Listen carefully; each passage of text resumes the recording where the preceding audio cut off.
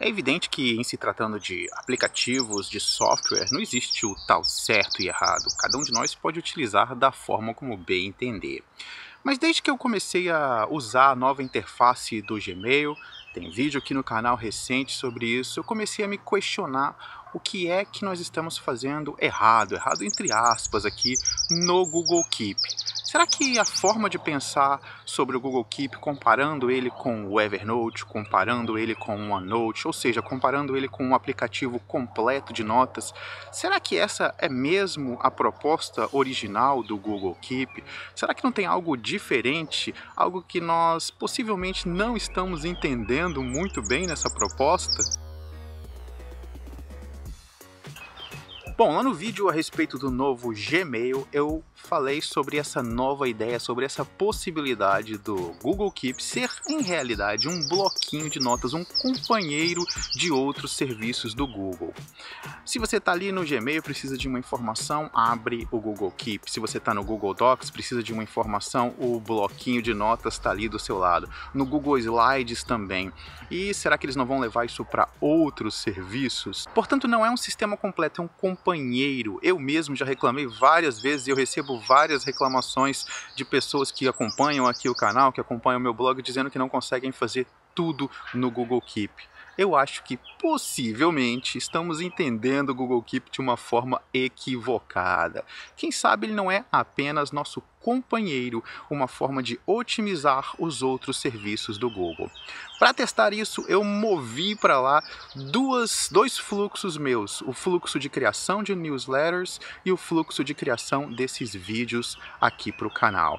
Tudo isso funcionando em conjunto com o Google Docs, e é sobre isso que nós vamos conversar hoje. No caso da newsletter foi muito simples, eu comecei a anotar algumas ideias no Google Keep e depois no momento em que eu precisava escrever a newsletter propriamente dita, eu simplesmente abri o Google Keep na aba lateral do Google Docs, arrastei esse conteúdo para dentro do documento principal em que eu estava escrevendo a newsletter no Google Docs. Normalmente eu faço isso no Evernote, mas como eu disse, eu transferi aí para o Google para testar o processo. Depois que estava tudo pronto, escrevi tudo, simplesmente levei lá para o Patreon, quem é, é, colaborador lá no Patreon acessa a newsletter por lá, existe um arquivo lá, e também levei para o aplicativo de envio de e-mail. Portanto, essa newsletter que saiu agora domingo foi toda feita usando a dupla Google Keep e Google Docs. Aliás, se você ainda não se inscreveu na newsletter, eu recomendo que você visite vladcampus.com/cadastro. Lá você vai poder baixar dois e-books gratuitos e também receber receber minhas dicas exclusivas por e-mail. Agora vamos sofisticar um pouquinho mais essa história de Google Keep e newsletter. Digamos que você está com um amigo, um cliente, você anotou algumas ideias, algumas informações importantes no Google Keep. Chegou a hora de você produzir um contrato, produzir um documento mais sofisticado, você faz a mesma coisa que eu fiz com a newsletter. Você abre o painel do Google Keep. Se você não sabe como fazer isso, dê uma olhada aqui embaixo. Na descrição do vídeo você vai encontrar todos os links, inclusive esse para aula de Google Keep.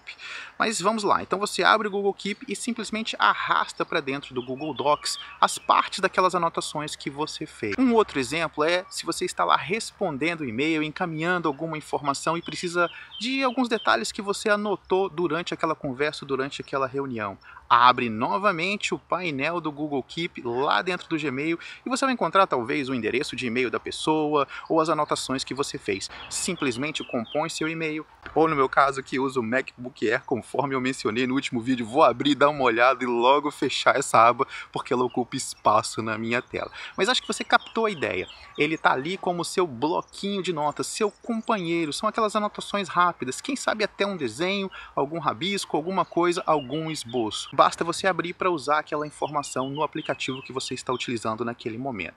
Mas como Google é Google, no Google Docs você consegue arrastar facilmente conteúdo do Keep para lá. No Gmail eu ainda não consegui fazer isso. Não sei se quando você estiver assistindo esse vídeo já vai ser possível fazer esse tipo de coisa. Talvez ainda porque o processo lá de add-ons ainda está sendo criado no Gmail. Mas imagino que no futuro sim você vai poder arrastar como você já arrasta do Google Docs, quer dizer, para o Google Docs e para o Google Slides, as informações informações que estão nas anotações do Google Keep. E a pauta para esse vídeo e para outros vídeos nos quais eu estou trabalhando. Como é que eu fiz? Como é que eu estou fazendo? Porque eu transferi isso para lá temporariamente para experimentar. Eu gosto de experimentar de verdade, então eu transferi todo o processo para lá. Aliás, isso às vezes me dá uma dor de cabeça sem fim. Eu não posso ficar quieto num canto, eu tenho que estar sempre experimentando ideias para compartilhar aqui com você.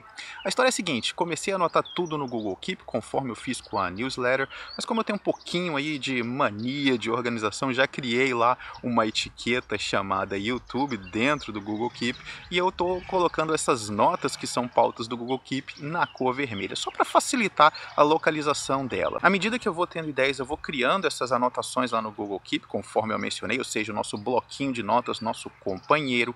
E quando eu vou trabalhar numa pauta, por exemplo, essa aqui, vou trabalhar mais sério nela, eu quero produzir essa pauta, eu coloquei aí fixada no topo do meu Google Keep, assim fica mais fácil de acessar essas informações. Fui trabalhando nos vários dispositivos que eu uso, concluí o grosso, digamos aí uns 90% da pauta, e aí eu levei isso para o Google Docs para transformar em algo mais elaborado para seguir o fluxo de criação aqui do vídeo. Como é que isso funciona? Vamos lá.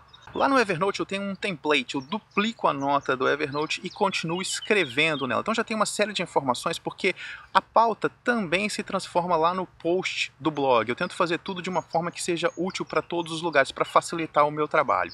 Então lá no Evernote eu duplico uma nota e escrevo em cima dela. No Google eu estou fazendo uma coisa diferente. Como eu sou usuário G Suite, eu posso criar meus próprios templates no Google Docs. Aliás, se você quiser experimentar o G Suite por 14 dias gratuitamente, visite vladcampus.com/g.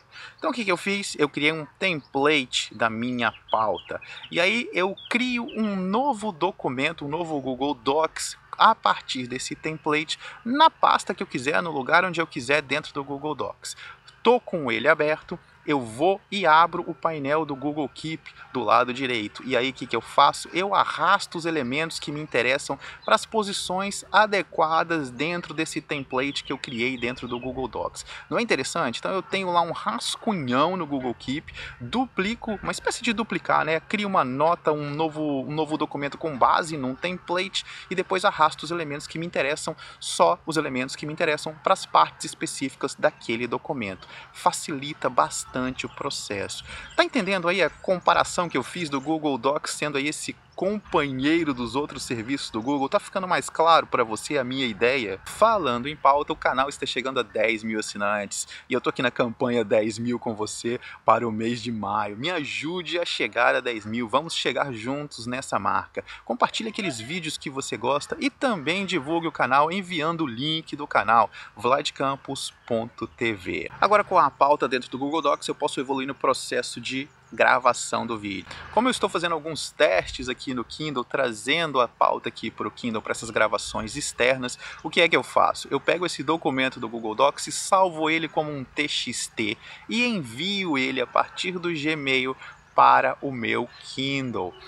Tô complicando um pouco as coisas, mas é só para você entender que o fluxo ele é possível, ele se torna simples quando você começa a juntar as peças corretas. Lá no Gmail basta eu abrir, começar a compor a mensagem, escolher a opção de anexo a partir do meu Google Docs, selecionar a pauta que está em TXT que eu mandei a partir do Kindle e ela vai ser enviada para o meu endereço Kindle e eu vou ter essa pauta aqui para ficar lendo aqui, fazendo a cola enquanto eu estou falando com você no vídeo. Então, o fluxo todo começa dentro de um Google Keep e vai se elaborando, transforma-se num Google Docs, que vira um TXT, que vai para dentro do Kindle. Claro que não precisa fazer nada disso, precisa sofisticar nada disso, mas é só para você entender como o Google Keep ele se tornou ali aquele companheiro, é o lugar de anotações rápidas em que eu posso elaborar uma ideia e depois levar ela para outros lugares. Em outras palavras, eu não vejo o Google Keep evoluindo e crescendo e se sofisticando como o Evernote ou o OneNote Mas eu gostaria de ouvir sua opinião. O que é que você acha? Você acha que faz sentido? Você acha que ele é esse companheiro?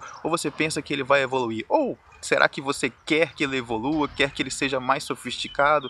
Me conte aqui a sua experiência. O que é que você acha a respeito desse possível futuro do Google Keep? Se você é novo aqui, primeiro vídeo no canal, assine o canal, porque eu compartilho vários vídeos por semana a respeito de organização inteligente e trabalho eficiente. Um grande abraço e até o próximo.